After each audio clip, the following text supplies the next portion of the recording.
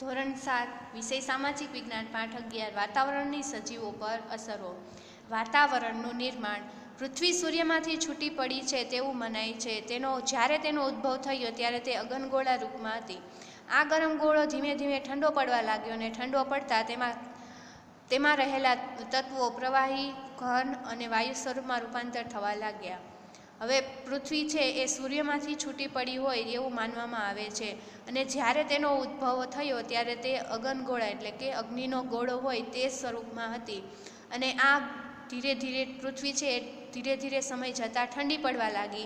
અને ઠંડી પડતા તેમાં જે રહેલા તત્વો છે પ્રવાહી, ઘન અને વાયુ સ્વરૂપમાં રૂપાંતર પામવા લાગ્યા. જે તત્વોનું ઘન સ્વરૂપમાં રૂપાંતરણ રૂપાંતરણ થયું તેને આપણે મૃદાવરણ તરીકે ઓળખીએ છીએ.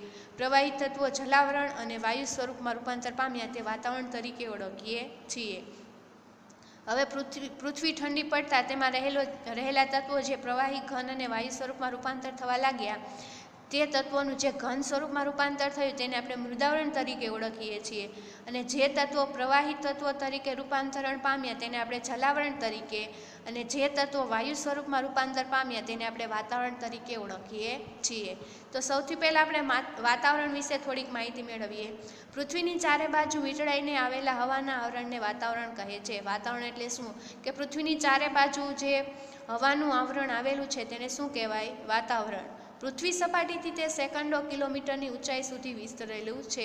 એની ઉપરની સીમા કેટલીક ઊંચાઈ આવેલ છે તે સ્પષ્ટ કહેવું મુશ્કેલ છે. એટલે કે પૃથ્વી સપાટીથી લઈને સેકન્ડો એટલે કે ઘણા કિલોમીટર સુધી જે આ વાતાવરણ છે વિસ્તરેલું છે અને તે કેટલી ઊંચાઈ સુધી આવેલું છે તે કહેવું મુશ્કેલ છે. તેમ છતાં પૃથ્વીના ગુરુત્વાકર્ષણની અસર અવકાશમાં જ્યાં સુધી રહેલી છે, ત્યાં વાતાવરણ પૂરું થયેલું માનવામાં આવે છે.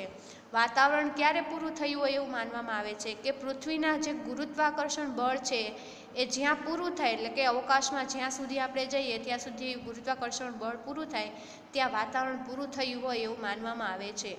પૃથ્વી સપાટીથી બત્રીસ કિલોમીટરની ઊંચાઈ સુધીના વાતાવરણમાં, પળમાં નવ્વાણું ટકા જેટલી હવા સમાયેલી છે એટલે કે પૃથ્વીની સપાટીથી લઈને બત્રીસ કિલોમીટરની ઊંચાઈ સુધીનું જે વાતાવરણનું પળ છે, એમાં નવ્વાણું ટકા હવા છે એ સમાયેલી છે.